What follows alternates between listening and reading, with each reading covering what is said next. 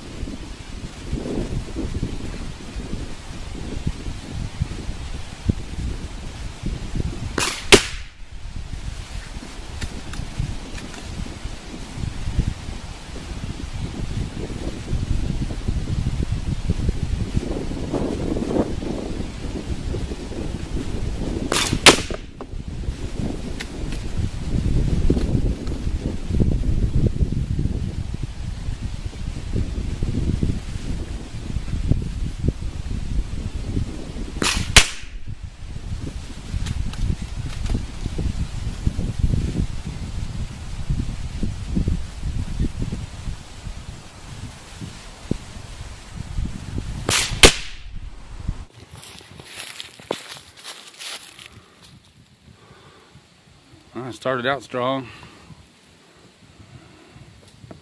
That one actually bent a penny. I don't know if you want to call that a hit. All right, Matt Gold's turn.